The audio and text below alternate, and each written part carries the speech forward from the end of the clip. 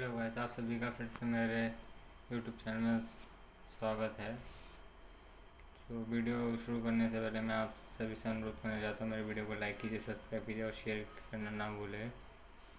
सो आज की टॉपिक आज का जो टॉपिक है, उसका नाम एयरक्राफ्ट है एयरक्राफ्ट कैसे होता है तो उसका मैकेनिज़म्स और history types of aircraft in defence और मिसाइल्स कैसे यूज़ की जाती है इन इंडियन डिफेंस में।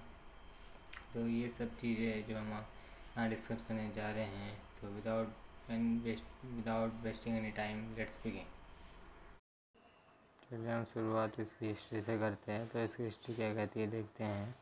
इसकी हिस्ट्री की शुरुआत दो हज़ार साल पहले हुई थी, जो इसकी सबसे अर्लीस्ट फॉर्म थी। वो एज ए काइट थी सच एज ए काइट थी, जो अटैम्प्टेड एट इसकी अटैम्प्ट टावर में की थी, की गई थी jumping to supersonic and hypersonic flight by powered powered से सुपरसोनिक और हाइपरसोनिक की फ़्लाइट को जम किया गया था, जो कि बहुत भारी थी, हैवियर थी, देन ईयर जेट, जो kite flying in China date back to several hundred years, busy and slowly spread around the जो काइट उड़ाई गई थी चाइना में जो उसकी तारीख थी, वो बहुत साल पहले की थी, बहुत सौ साल पहले की थी, जो कि बीसी में आता था मीन बिफोर क्रिस में लिखा हुआ था कि जिसमें धीरे धीरे करके वो पूरे वर्ल्ड में फैल गया, अराउंड द वर्ल्ड।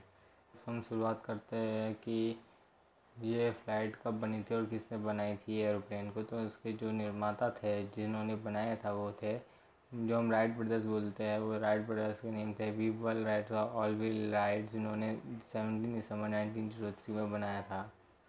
उस समय तो बनाया था, किधर बनाया था, उसका जवाब है कीटी हॉक ने बनाया था। विद फ़र्स्ट पावर्ड एयरक्राफ्ट, जो उनकी पहली पावर्ड एयरक्राफ्ट थी, जैसे मैंने पीछे वाले पिछले टॉपिक में डिस्कस किया था पावर एयरक्राफ्ट कर रहे हैं, वही पावर एयरक्राफ्ट उनकी पहली थी। The Bright brothers had invented the first successful airplane उन्होंने पहली सक्सेसफुल एयरप्लेन की भी निर्माण की है।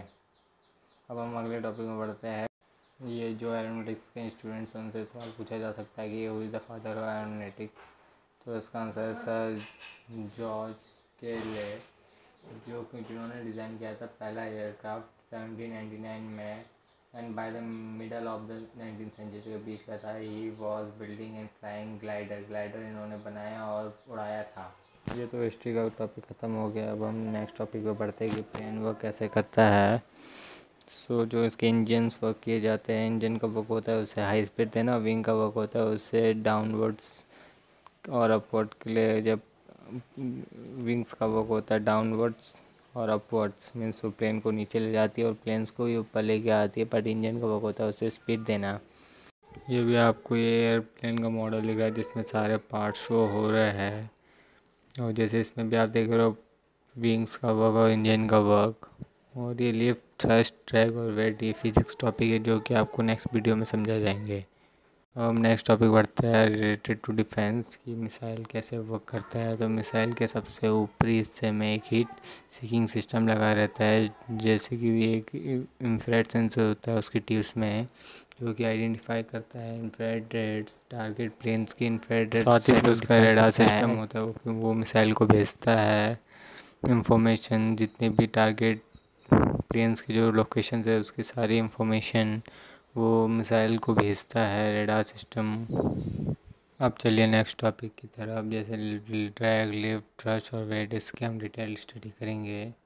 अभी एरोप्लेन उड़ता है हवा में। वो किसकी वजह से उड़ता है? वो एबल होता है जनरेटिंग फोर्स फॉर लिफ्ट जो कि वो वो मीन्स इतना एबल है फोर्स को जनरेट करने के लिए। वो किसके कारण? लिफ्ट के कारण। Which normally moves the aeroplane upward जो कि नॉर्मली एरोप्लेन को ऊपर की तरफ़ उठाता है। Lift is generated by the forward motion of the plane through the air जो अब लिफ्ट जनरेट होती है, वो होती है फॉरवर्ड मोशन, प्लेन के फॉरवर्ड मोशन से, जो कि ईयर में जो फॉरवर्ड मोशन होता है, एरोप्लेन का, उससे लिफ्ट जनरेटेड होती है। जो जनरेट होती है, उसी से। This motion is produce by the thrust of the engine और ये मोशन प्रोड्यूस होता है थ्रस्ट बाय द थ्रस्ट ये मोशन जनरेट होता है थ्रस्ट द्वारा इंजन के थ्रस्ट द्वारा, इसके ऊपर मैं आपको एक स्पेसिफिक वीडियो बनाऊँगी थ्रस्ट क्या होता है। अब हम जानते हैं कुछ डिफेंस एयरक्राफ्ट के नेम जैसे E W N C S U thirty M K I Indian air force Rafale A I sixty four Apache M I seventeen helicopter C one thirty jet Hercules A W N C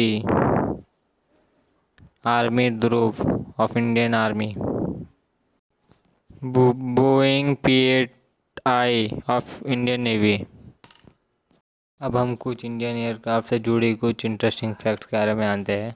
पहला fact fact number one some planes can fly for more than five hours after one of the engine goes out कुछ flights उड़ सकती है पाँच घंटे से ज़्यादा। उसके मीन्स एक इंजन ख़राब होने के बाद वो पाँच घंटे से ज़्यादा उड़ सकती है। Fact number two if someone dies on your flight, their body might stay in the cabin with you. अगर कोई इंसान की मृत्यु हो जाती है उनके फ़्लाइट में तो उनकी बॉडी आपकी बॉडी आपके साथ ही बैठाई जाती है।